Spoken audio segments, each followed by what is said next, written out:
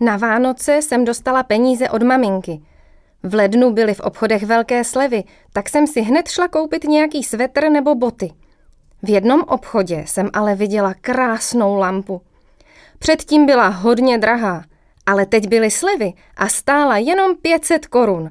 Moc se mi líbí a krásně se mi hodí do obýváku.